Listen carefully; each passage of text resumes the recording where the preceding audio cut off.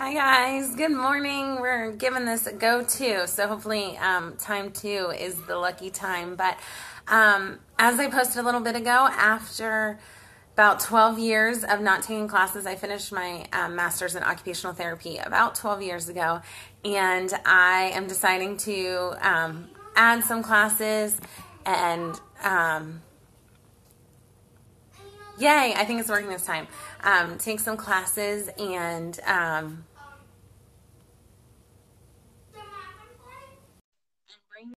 on my friend Cara.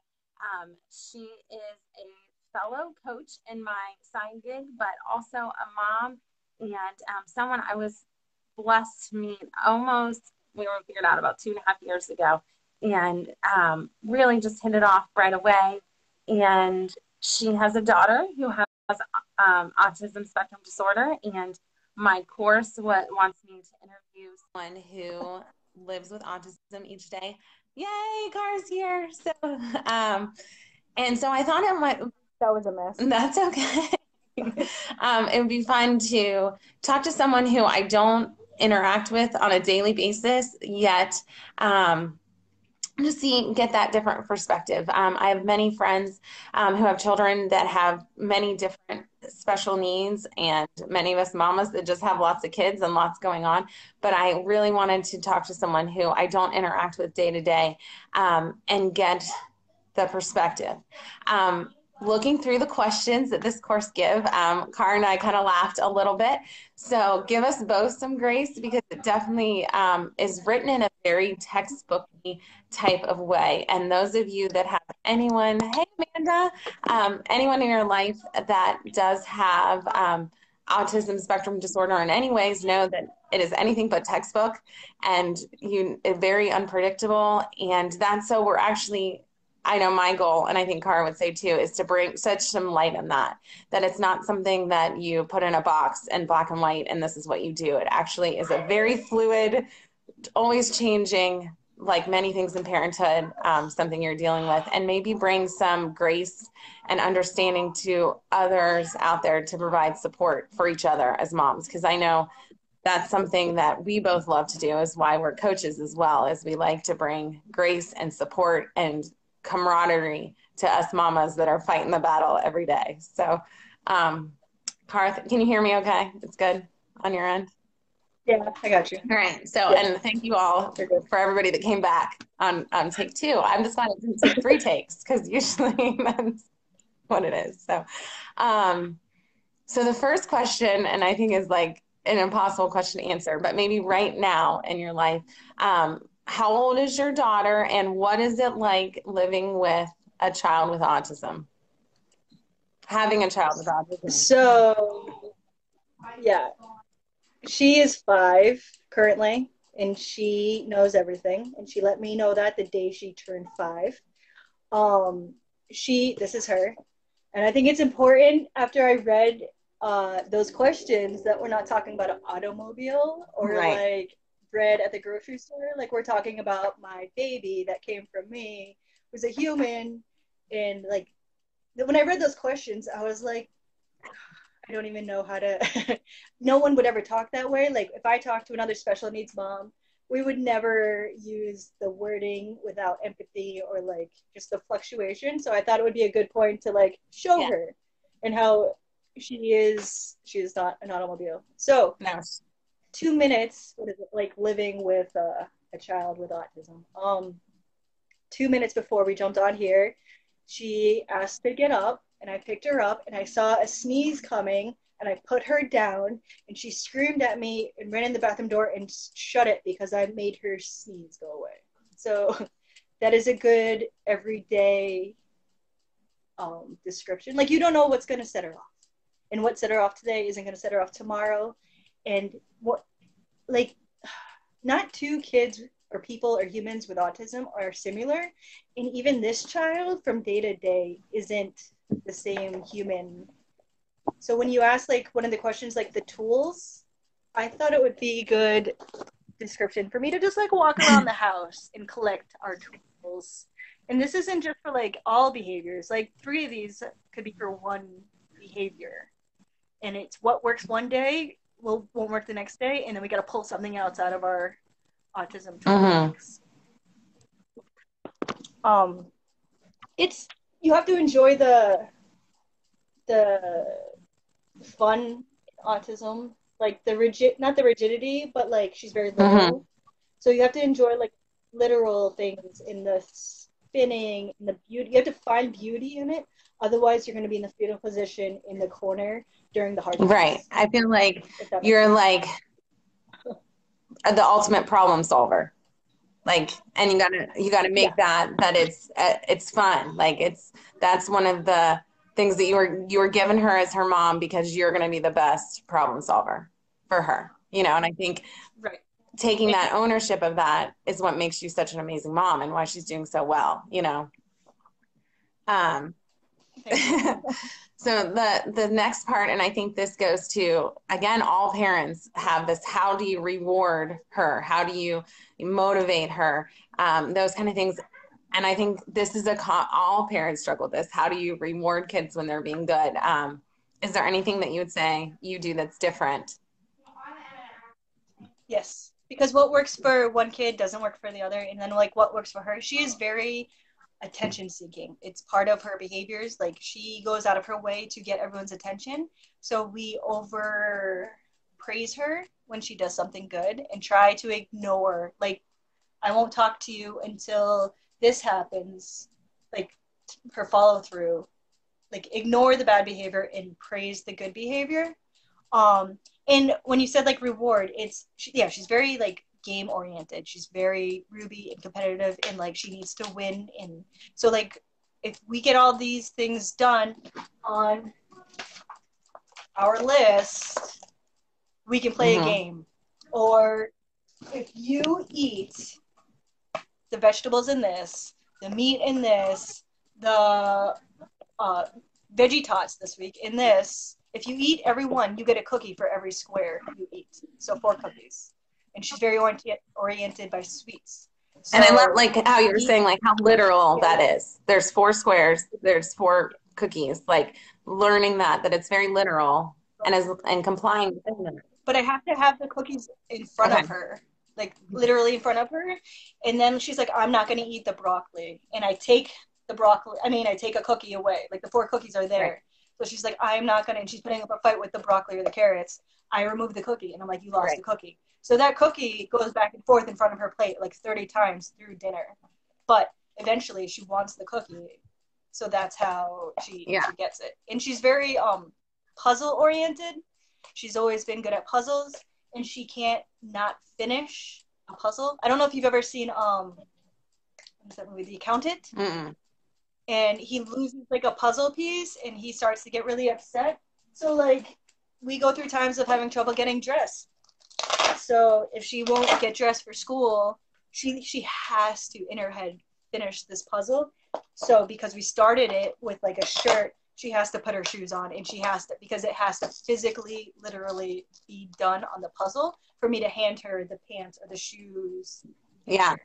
Yeah, absolutely. Um, could you talk a little more? Because I think this is a misconception people say when you say you're you ignore the bad behavior. Because I know I've been in situations when I'm working with kids or in the community with other parents, and and we're ignoring a bad behavior, and people assume we're letting kids get away with things. Or you know, I think that's a big misconception on why. Like, so kind of maybe an example of that total ignoring and and why it works. Okay. So I am. I should say this first. Um, Hazel was born with autism. She uh, was. She had words. She used to cuddle. She had great eye contact. And then she hit 15 months old, and like she was always hyper. Like she's always hyper. But when she hit that 15 month mark, um, she went backwards. Like I couldn't touch her. She touches us. I don't touch her. She touches us. Um, she we do this thing called looking eyes. We don't want her to directly look us in the eyes, but just turn her like tunnel to us. Um, but she she regress. She has like regressive autism, so she gets too stressed out. She regresses. So when it comes to like, she's been in early intervention and she has ABA. Uh, right now, I think she's at 10 hours a week. She goes between 8 and 27 hours of in home ABA a week, depending on where she is But when we go like ignoring the behaviors, um, she will. I'm trying to think of one. Oh, like a cup. Like she's inflexible. So I gave her sister a pink cup, and she needs the pink cup, and her sister gets the blue cup. But God forbid I put it in the wrong cup. So we're not going to cave to that behavior because both cups are fully functional cups. So we will look away and we'll be like, once you have a calm body and once you have a calm voice, you can come talk to me about it. And we'll just completely ignore her and she'll be throwing things. I'll keep her safe. Like I'll block her if she's trying to hurt something or throw something or whatever. I'll block her, but I won't mm-hmm. look in her direction. And I'll just keep repeating the same thing. We'll talk to you once you have a calm body and a calm voice. We'll, and that's like every five minutes we'll say something like that. And then she comes over eventually because she knows I don't cave. I've done this at Walmart and people are like, this poor kid. And I'm like, no, she's not getting the claw machine. She's behave. I don't care. And I go sit down and I, I just sit there and she knows and she eventually comes over. And then she comes over and she's like, I'm breathing. And I'm like, but you, like, we need to like really breathe. And then I just talk to her. Both cups are fine. This time it's Scarlett's turn to use the pink cup. Next time you can use it. Like that is how we do it. We just completely like not not look at it, not because if there's no show or there's no audience, there's no show. And she's very attention oriented. Yeah, I think that's absolutely, and I think you said it so well. And it is, um, and the important thing to know if you gave cave that one time at Walmart, it starts a whole cycle where you're redoing months of work. And I think people don't necessarily understand that. Like, I cannot just give in this one time because the way that they process in their brain work. It sets up yeah, like it opens a whole door for everything. So um, the strength that it takes to do that, and like you said, knowing what motivates her, attention motivates her. So removing that changes behavior much quickly than maybe something else. Um, and then giving it to Scarlett. Scarlett, you're sitting there so calmly mm-hmm. and listening nicely. She's like, "Oh yeah," like it's just super competitive. So she's like, "I'll show you." Like it just gets her and I mean that's such a normal I, I have a six year old, you know, the same thing, but he'll come over and be like, I am calm. And I'm like, You're saying you're calm, but your face something to work on it. So um it's all kid you know, all kids are working through this, but you have you there's no there's no room for wiggle. Like you have to follow the plan or it's gonna be days of undoing not every kid is like this on the spectrum, like because everyone is very different. But she won't forget anything ever. So that one time six months ago that her dad gave her a piece of candy before dinner, she will bring that up relentlessly because that one time, right. you know what I mean, something happened and she caved and she will hold mm-hmm. on to that and bring it up like like taking this stuff around the house, she interrogated me. What, what are, you doing? Why are you taking my stuff? Where are you going for that? What are you? And I was like, I'll give it back. I promise. Just give me some time. Mommy's friend just needs my help for a few minutes. I promise. um, so I'll, I'll return it exactly the way it was. Um, so the next kind of questions I think go together. But how do you personally communicate with Hazel? What's kind of the best way? And then does she have certain ways she tells you when she's sick or in pain that you would say is different than other children? Yeah. Okay. So communication has changed over time. Um, she when she lost all her words, she had okay, so at like she got diagnosed right before three, like a month before three. Um, but when she was 15 months, she had like 10ish words and then lost them all. And then we taught her sign language. So we taught her like basic signs, more eat, drink. Like we taught her basic signs and she picked up on that. And then she had struggled with that. Um, and then when she went into more intensive ABA. She went to like a day program for a summer, um, and that was the 27 mark, 27 hours. Uh, she developed words, but we also did this, which is the picture exchange. Um, so we we still use this. This is our chart to leave the house. Um, we still use this because she's very visual, and if there's too much chaos in life, we still pull this book out. Um, or if there's too much, like we're going to a noisy place. When we go, when all right, this is our this is on our fridge. Okay, this is our schedule. This is what we do. When it's on green, it moves over. So she knows every day all right, I fed the cat, I'm moving over. There's responsibilities in this. This isn't just like, this is self care and responsibilities and table work, make your bed, get dressed, eat. This is just so she knows. But when we go places, this is what I bring with me. Um, and then like when we're in the car before we even get anywhere, like we went to a Jump Nation birthday party, and it says it's like a broken clock. But I turn around before I get out of the car, and I'm like, when I hand this to you, we are done in 10 Mhm. minutes because we have a horrible time with transitioning. So when I hand this to you and you see this, what does it mean?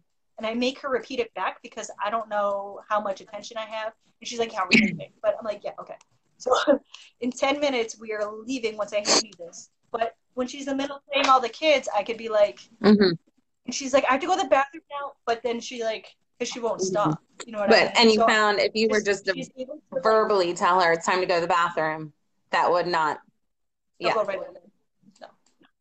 She would completely ignore me. But she'll she'll like and all the kids jumping and screaming, you will see her like physically zone in on the peck and then she'll be like, Okay. And it just it just registers better. So we bring this and a lot of times that's frustrated. Hold on. Let me move that one. So I'll be like, you where is it? There it is. First bathroom bathroom first bathroom, then ex- that's excited. But first bathroom, then we could do something fun. That's Mhm. exciting. But first, you have to go to the bathroom, and until you go to the bathroom, we're not doing this fun thing. So we bring that everywhere, and then this is what we use in the house because she. I send her upstairs for something, and she comes back with like a dog stuffed animal because she forgets by the time she gets upstairs. So it would like this would be first make bed. All right. It has to be a preferred activity as one. To get to the end. it's not gonna work. Yeah. Yeah. So first, uh, make your bed, then get dressed, and then eat breakfast. So that's how I'll send this up to her, and then she'll can visually check in on it, like it's a checklist. I think there's Emerald in her. The checklist, so she can like check it off and then come down and get to do it. And she enjoys the satis- the cash satisfaction of like Right. moving it over. You know what Yeah. I mean? She enjoys that. I did this. I completed this. So, how many hours have you spent on supplies and lamination and pictures? And I, I think that's like a hidden thing that people don't like hours and hours or sitting up at night. Um, another good friend of mine, Katie, who's an ABA, was an ABA therapist and consultant, like she's like, Oh my gosh, I finally thought of a behavior plan at like 2 a.m. and like she's typing it all out. Like I think that's like your brain is constantly like, okay, that birthday party didn't go great. How what what can I do next time? And then we'll bring the peck of the bathroom. You know, I think that's something Right. that people who have maybe not been directly linked to someone who with autism don't understand the hours and hours of time laminating and problem solving and color coding and um,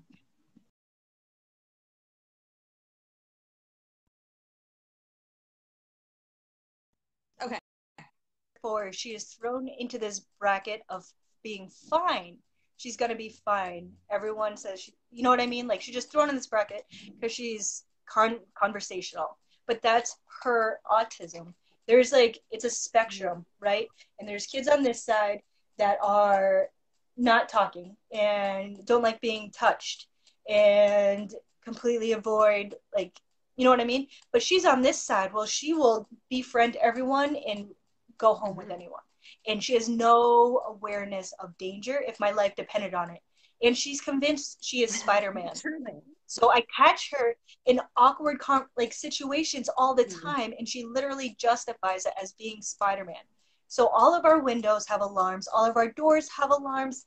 There's a baby gate and that weight doorknob, so I can hear her leave her room in the middle of the night. This is brought. This is like because places are loud. This stuff is in my purse all the time. because I don't know when I need to be like, it's okay. Here, like squeeze, get your frustration out. Um, she, this is on her neck all the time. This is, it's a body suck. So, like, how many hours? I have complete guilt because I worry about her all the time, and I don't worry about the other one because the other one is assertive and ballsy and like she'll let you know. But this one, I worry about all the time because she's thrown in the fine bracket. But it took us two entire years of ABA to reach and recognize the number 12. Mm-hmm. Two years. And they told us in kindergarten they want her to know algebra, do algebra and read and do math, add and subtract. And I'm like, we just got to 12 like last week. And you want her to put them together and do mm-hmm. stuff? Like she knows her name because that's oriented to her. But you want her to so I worry all the time because she regresses and goes backwards. I worry because um, the school doesn't take her autism serious because she's friendly and bubbly and oriented. And I'm like, but she's gonna run out the door like she's done before and I'm constantly thinking of like, where is it? Like her medical bracelet. It says, "Don't." Let me hide my information. Okay. Yeah. It says, "I have autism," and then it says, "Don't touch, no sugar, runner." Because I don't know how else to make it a big red flag that this kid isn't fine. right. She's not fine. She's not gonna be fine. This is who she is. It's the best part of her. She's absolutely freaking amazing. She has amazing qualities. But when it comes to retaining information that's like book related, not like what did mom let me get away with right. related, or like it's just I just I worry all the time because I can't trust her instincts enough to kick in. So all the time. I am constantly worried about her and complete mom guilt because I don't worry about the other one because the other one's going to protect her somehow. I can yeah yeah i mean they're, they're, probably there's a reason you know i believe that there's a reason that they're together but um like you're saying like so communication is a great strength of hers in some ways like she can make friends and things yeah. like that but then everyone no she can't make friends teacher she gets made she gets made fun of all the time already yeah. um because she's rigid and she doesn't understand or pick up on any physical cues other people are putting off. So she doesn't realize she's getting made fun of. And she doesn't realize that other kids play with flexibility and imagination. And once you teach her something, it is like, that's how it's done every single time. And that kid's playing it wrong. Right. And I'm, it's just, so no, she doesn't really make friends that she just talks. Yeah. And expresses. And she's cute. So therefore, she's like, she's fine. And I think, I mean, how much, like, as a professional, like, too, like, we always need to be slowing down and, like, really looking at what's happening for that child. You know, like, like you said, sometimes the kids that are throwing things across the room and fits and, you know, maybe can't take care of themselves at all get more attention than like you're saying hazel who can come in and look really cute and happy and you know so there's always that stop and what is really happening for this child and what is really going on in their environment. Um, it never, there's never the same kid twice, you know, and that's why I love my job. But as you're saying, like it can be so exhausting at the same time. Um, on that note, I'm gonna skip ahead a little bit, but um, Hazel's in kindergarten or she's going to kindergarten? Going. Going. We did three years. So she's school. been. So how would you say, like, what's been your experience with the education system for her? Honestly, I feel like for. Okay. I feel like for being in preschool, I have ended up in the principal's office more times than I can already count. And I, the principal's in every IEP meeting. Like, I feel like if you can't handle this fine kid now, how do you feel like it's going to be for the next 12 years of schooling? Because we are in preschool, and I've had, I think, five IEP meetings this year alone. And I think that's important um, to realize that, like, the school has to learn, but they also have to put stop putting everyone in one category. Mm-hmm. Like they they want her with her peers, so it's good peer role modeling but developmentally we did a evaluation and she's developmentally three she's not five she's developed so why are you expecting shouldn't you be leaning towards where she is at and where you can start pushing her and not expecting her to be where everyone else is already yeah at. is she in a community or is it a program that the school does like the um, district She's in a regular class. So, because like here in Ohio, there's you know private preschool that some a lot of kids go to, and then sometimes I go out and service in the private preschool you know, like a Christian school or church doesn't on. And then also the school district offers, you know, preschool that's a half, you know, half special ed, half um, typically developing kids. And it's always interesting that like I I don't know like where it ends up. And lots of kids I'm like no they should be in our program to get more services. And often they're pushed no stay in your community preschool. And they're not necessarily uh, you know equipped to really like you're saying they they're like no they should just catch up. We should just do it like to meet kids where they're at um, and I know that's a hard where early intervention is so like specific to a child and then preschool is like nope just kind of group them in. It, it seems to be my experience. I don't would you agree with that? Yeah she's yeah. grouped in. She's she's just grouped in. She is thrown in. But i think hold on baby. I think in the um in the next year they're gonna realize i'm not like this crazy lunatic that she um has amazing qualities but also has her major faults, I guess. I don't know what the word is. Like they're gonna realize when they actually ask her to do stuff with the numbers and letters and not three years of preschool because she has like the triangles and the shapes mm-hmm. down.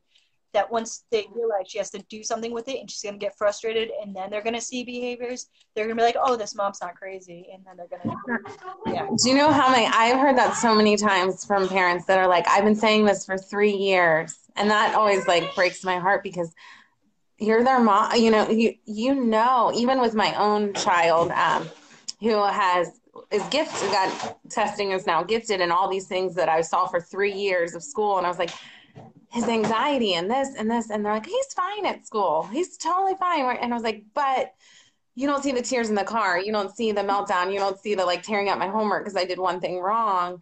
And it is it so many times it takes them getting to a breaking point at school before they step in like oh maybe and i don't know what the solution to that is besides like hidden cameras in our house and taking the video in to show them right i did i do send them videos now but i think um like i have dyslexia i took me to embrace her autism and then last year's with sean harper to embrace my dyslexia but i think it's important like I learn differently. I know that I need to be in a quiet room if I'm going to read something or write something. Otherwise, I'm going to type or text or write down what I'm hearing. So if I learn differently and I need 30 seconds to respond, why can't we expect and give her 60 seconds to respond and give her the accommodations that she needs to learn and develop the proper way? I have to teach her because the school's not doing it. I have to teach her, okay, you're getting overstimulated what do you need? You need space. So how can you ask for space? What can you do to help you in this situation? Because no one's going to help you in this situation. I have to teach her the tools to self evaluate herself so she can help herself in those situations because no one else is going to help her in those mm-hmm. situations mm-hmm. besides me. You know what I mean? Mm-hmm. All right, I'm really fidgety, so I need a squishy, or I need to chew on this, or if I need space, that big circle thing is a tent. She goes, hides, and retreats in. Yeah. If she's overstimulated or her sister keeps sitting on her because she's her sister. You know what I mean? Like I have to teach her these tools. Right. And I don't I wish the school would take that into consideration that not everybody is an MCAS kind of we're not in right. a box. We're not in a box, so stop trying to teach us in the box and it hasn't worked for the past four decades. So can we just move on and give individual educational plans what IEPs are supposed to be for, but it's really a right. thing. Yeah. Sorry. No, and it and and as um someone in the trenches, you know, know that there's people on the other side at school that are fighting it just as hard, you know, as you. Um all right, so the the elephant question, I feel like that the last one on here. Um, what personally, what do you believe is the cause of autism? Do you have a thought? I think she I know she's born with it because she put me in the hospital twice for being in for having an overactor overactive uterus. Okay. Like she was always hyper. Even before um, delivery, I think it's like preterm labor. Yes, yes. So I don't think some shot gave it to her 15 months. Like she was, she came out advanced. Like she was crawling at three months. She was walking at 10 months. She's always been like she's very advanced. I think um, it's a compound effect of us not approving stuff that's on the market and what we're putting in our lawns and what we're putting in the air. And I think there is a there has to be some some consequence to how we treat our environment. Mm-hmm. If that makes sense. Like the air, the lawn, the chemicals we clean with, the food, the processed food, all of stuff we clean our dishes with, there has to be some kind of consequence to just buying cheap stuff and spraying it around our lungs and then giving birth. Like there has to be that's my theory. I could be wrong. I don't I just don't think it's a shot. I don't think they just develop it. I mean, I think that it just they're born with it. She was born special. She was born Spider-Man. It's just who she is. Yeah. Yeah. I agree. Um there's just so our world is not healthy and safe at this point you know i i don't think in general and um i know that's part again like our mission how we kind of got connected was helping moms and other women be more healthy and safe and how we can deal with life and you know whatever's thrown at us so i i know that we brought us together um so as we wrap it up um, can we meet Hazel? And she, I want to, yes, and she can come get all of her goodies. I know. Why are you taking this? Hazelnut.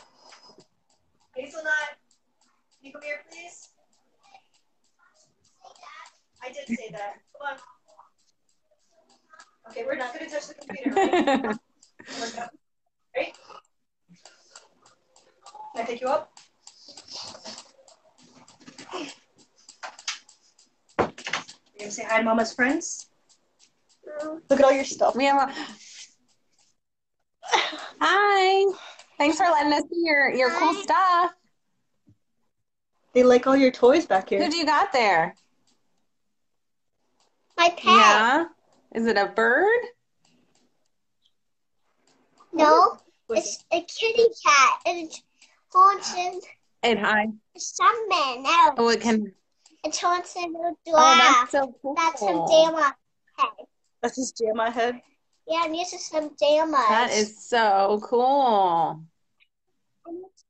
So that's a tag. We so we embrace it. We talk about it openly. Um, I think it's important. Like she knows. What do you have that makes you special? Autism. Okay. I think it's important that she knows how to self-evaluate mm-hmm. herself, and that's one of those things. Like it's not an excuse. It is not at all an excuse. So if the sun is bothering you because you're okay because you're sensitive to light, um, then put a hat on or put sunglasses on. You know what I mean? You're not getting out of the activity. She's yeah. her stuff. You're not getting out of the activity. You know what I mean? Like there's ways to deal with it, but it's not an excuse for her. Mm-hmm. This could this could be very different for other parents, and I know a lot of uh, parents that um, get go a lot of work to get an evaluation, but don't do anything mm-hmm. with it. Um, and i think like she it's an excuse it's not an excuse it's never going to be an excuse it's just we got to work with it and use our tools over here to find a way to to cope yeah. with it you know what i mean and to grow with it it's my job as her parent to push her out of her comfort zone push her out of her comfort zone so that way she can become the best version of herself and self evaluate the best version of herself. Absolutely. And that that's like one of the biggest things that um, has kept me up at night or in tears is I have students that, you know, the parents fight so hard to not have an autism diagnosis. And I'm like, I don't I don't understand because if your child had diabetes or had, you know, something you would we would get them we get them help and we would fight it. And you, this is it's the same thing there. So some way and i know moms like you are fighting it that shame. I don't know who decided it was something that we don't talk about and they're like but that's a load of baloney in my mind. Like it is a diagnosis. There was a grieving there was a grieving period i did mm-hmm. go through and I still go through occasionally, and it hits me the most random spots. Hold on, hold on um, because you had these hopes and dreams when you're pregnant and you don't know if they're going to come true um, but there there's a grieving thing there is a grieving place but it i am not she's not going to be my excuse to be miserable and I lost myself in the label when it first happened. I. I lost myself in the label when it first happened, but it is not a she's not the problem in our family. She is the glue that keeps us together, and because we have to fight for her. Yes, you potty trained. she potty trained. She she started wearing underwear about three Good months. job, big girl. Um, so you can see the difference in like anxiety in how. all right, all right, come on, come buddy. Hey, hey, hey, come buddy, come buddy. Um, okay, you- okay. What are you gonna say? Say hi, Christy. Hi, Hi, Christy. sweetheart. Bye. Oh, but can you go see Daddy now? But you know what I mean? Like it's not a it's not an excuse. Don't let it be an excuse for them to disable them. And don't let it be an excuse for you as a parent to throw in the towel at life. I think that's my biggest struggle is I got lost in the diagnosis and I just I just lost. I was in that like downward tunnel of Google and how can I fix this? How can I change this? But but then I stopped taking care of myself. Don't let that be your excuse. Like you can totally take care of yourself. She loves working out. She asks me all the time to work out. It is an energy filling thing for her, and she needs to get it out of her system. Just don't. I it, none of this is an excuse for life. So, if you had, sense. you know, if that mom that you're saying is in that grieving period, or even like, I, I'm fearful this is going to be, you know, our truth, or like, how did you take that first step, like, out? Like, what would you tell them right now? I find the joy in lining things up and in spinning and catching them on top of things in weird situations. And their their little their their growth like her potty training at five. Like find the joy and embrace the baby steps as you go along because four years ago someone was smearing okay? Um and that was hard and in like a dark tunnel but once that stopped we had to embrace it. Once you know what i mean? You have to enjoy the growth as it's like as it's happening and then find the joy. Like i don't need to buy toys. If she doesn't need toys that's a bucket of beans okay? Like you know what i mean? Find the joy in this stuff in the fact she is spider-man. Otherwise you're going to lose yourself in the adjustment of a sock or the fact you took out the mac and cheese out of the microwave and got your like you have to find the joy in the little things. Otherwise the hard stuff you're not going to be able to handle. And find a tribe like a community online. If you google like autism support groups or whatever that is endless. They're not always nice but that is endless. Or just find a tribe of people that can comfort you. Like you you know what i mean? Like us. Find something that you can turn to and hold on to in the darker and harder Mhm. times because it does get hard. And we go through tough patches. And she does regress. And if you don't find the joy in the little stuff you're going to lose your mind And like, and I hear you saying, like, just own your life. Like, this is just own it. This is it. It's not anyone else's life. It's not, you know, like this is my life, and I'm going to own the joys, and I'm going to ride through the the roller coaster, and this is our life. And I think there's so much peace in that. You know, like so much peace in that. So, um, I know. but i am stronger you know what i mean our whole family is stronger because of Mhm. Because we had her and we had to develop this backbone that I didn't even know existed in me. And I think that's another thing people have to do. Like you have to do what's best for them and for you and don't worry about everyone else. They're gonna stare. They're gonna stare and they're gonna look at your kid like it's a freaking science project and it's gonna make you want to lose your mind. But embrace it. Be like, yes, she is different and she is fun and she is wild, but she has more integrity than the person that is Mhm. staring. Yeah. Well, I, I hope we touched some lives today, and thank you for sharing so openly. I know. Well, we'll give her her mom back. I know she, we're probably messing up our, our schedule a little bit. So, um, um, thank you again, and I'm going to save this and have it if anyone wants to share it. Um, we would love to do that, and um, we, and we're both working out live here in an hour. So if you want to join us. Yes. We will be. Um, you can work out with either one of us. So if anybody's watching and wants info about that, let us know. So I'll talk to you later. bye, Hazel. You want to say bye? How do you know my name? Because we're talking about you. All right, I'll talk to you later. Thank Thank you. you.